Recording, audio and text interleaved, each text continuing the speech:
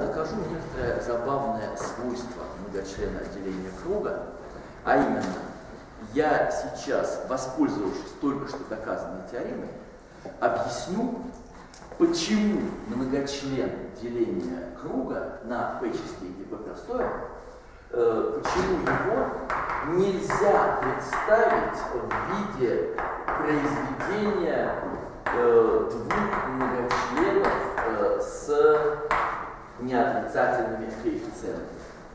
Итак, предположим, что у меня есть э, какие-то э, какие два многочлена, n меньше, чем э, p минус 1, э, у меня есть какие-то два многочлена, причем все числа, э, вот эти вот ашки, э, э, это числа вещественные и неотрицательные. И, соответственно, есть э, m, m плюс n равно p минус 1. Э, здесь э, тоже вот такой вот многочлен, да? bm минус 1 x b минус 1 плюс и так далее, плюс b первое x плюс b нулевое. Замечательно. Итак, все числа а больше или равно нуля, все числа b больше или равно нуля, на самом деле такого не бывает если m больше нуля и n больше нуля. Доказательство. Ну, ребят, начнем вот с чего. А n можно вынести за скобку, bm тоже можно вынести за скобку. Э, понятно, что при этом они в произведении дадут единицу, потому что старший коэффициент здесь единица. Поэтому я могу э, спокойно считать, э, что у меня просто это единица в самом начале. Итак, вот эти вот числа будем считать, что они равны единице. Очень хорошо. Очень хорошо. А, теперь давайте подумаем э, вот на э, какую тему. Есть коэффициент bm минус 1.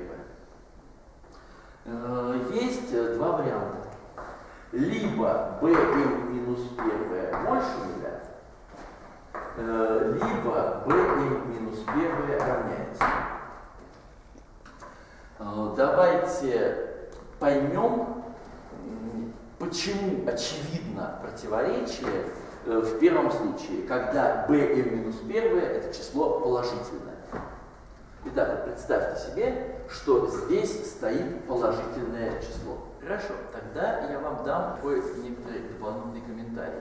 Как вы считаете, а нулевое умножить на b нулевое это сколько? Единица – это а нулевое умножить на b нулевое. Говорим, что обязательно эти числа не больше единицы, потому что если бы здесь был какой-нибудь коэффициент э, больше единицы, то коэффициент при x степени m в произведении был бы слишком большой. Или это, если больше единицы, то коэффициент при x степени m был бы слишком большой. Отсюда получается, что а нулевое и b нулевое это единицы. Отлично заменяем их на единицы. После этого смотрим на коэффициент, э, смотрим на коэффициент при x в первой степени. Это очевидно а первое плюс b первое. Это тоже должна быть единица.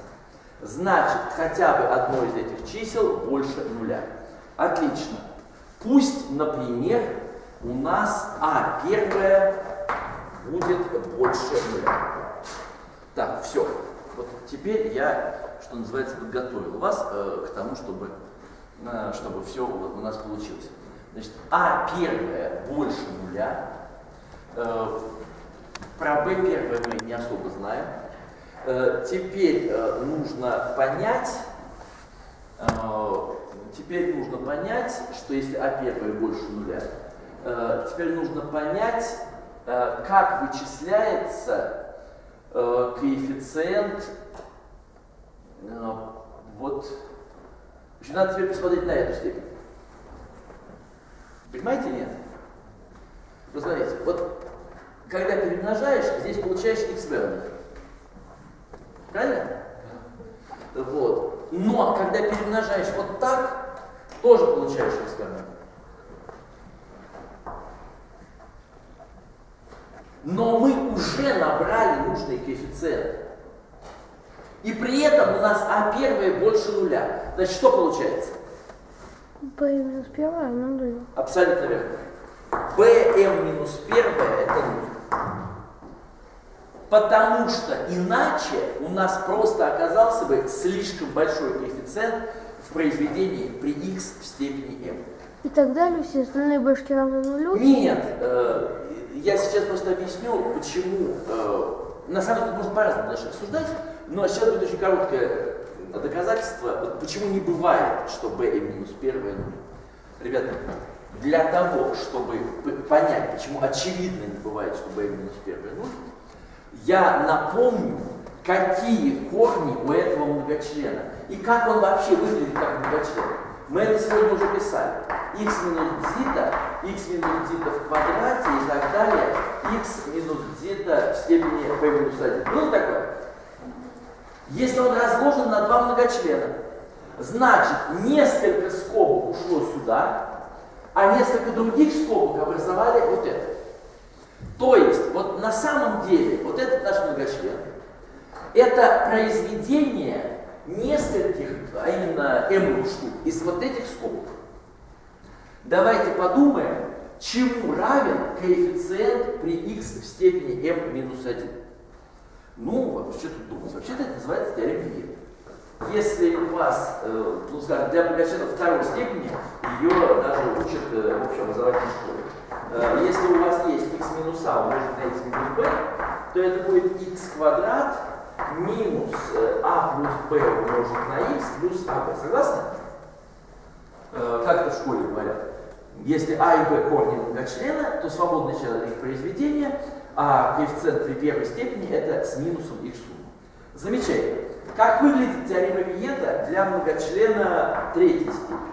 Ну, вот так и выглядит x минус а умножить на x минус b умножить на x минус c. Это будет x в кубе минус сумма корней умножить на x в квадрате плюс сумма попарных произведений корней умножить на x и минус произведение корней. Господа, пожалуйста, проверьте, раскройте скобки, кто не верит, э, проверьте, посмотрите, убедитесь, что действительно так.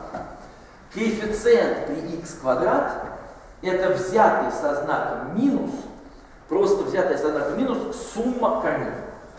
Так вот, здесь будет ровно та же ситуация. Коэффициент при x э, в степени m минус 1 это будет сумма тех э, степеней дзиты, которые вошли в тот самый список. То есть будет какая-то такая вещь. Дзита в степени э, альфа-1 плюс дзита в степени альфа-2 плюс и так далее, плюс дзита в степени альфа-m будет равно нулю, потому что у меня этот э, коэффициент э, равен нулю. Но, господа, вы помните, что m было меньше, чем p минус 1 m было меньше, чем p минус 1. А это абсолютный ужас. Э, потому что у нас получилось, что число зита удовлетворяет уравнению, а заметьте, это уравнение вообще-то с целыми коэффициентами. Здесь коэффициенты равны единице, да, ну и нулям. Э, могут быть равны. Вот уравнение с целыми коэффициентами, у него есть корень э, дзита. И у этого уравнения с целыми коэффициентами тоже есть корень зита.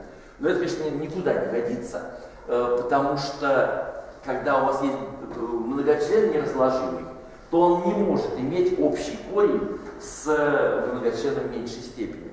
Просто потому что иначе мы взяли бы вот этот многочлен, взяли бы этот и по алгоритму Евклида нашли бы их наибольший общий делитель. И он был бы с целыми коэффициентами а это означало бы, что наш многочлен разложим. То есть вот так э, при помощи э, признака неприводимости Эйзенштейна, э, при помощи того, что вот этот многочлен неприводим над э, целыми коэффициентами, можно легко объяснить, почему он не, не, разлагается э, и с неотрицательными. Ребята, да что? А многочлен не обязательно должен быть э, меньше степени. Видите ли, в чем дело? У нас все эти числа альфа больше нуля. Поэтому вы на дзита делите. А. Поняли, да? Да. у вас э, здесь нигде нет зита в нулевой степени. Поэтому э, в первой степени просто выбрасывается сразу. И получаете все-таки многочлен меньшей степени. Да, и еще, в случае разложения на множители с неотрицательными коэффициентами, э, когда непростое число, оказывается, что многочлен такого типа можно там полностью все изучить, э, и, в общем, там, там все это сделано аккуратно, замечательно.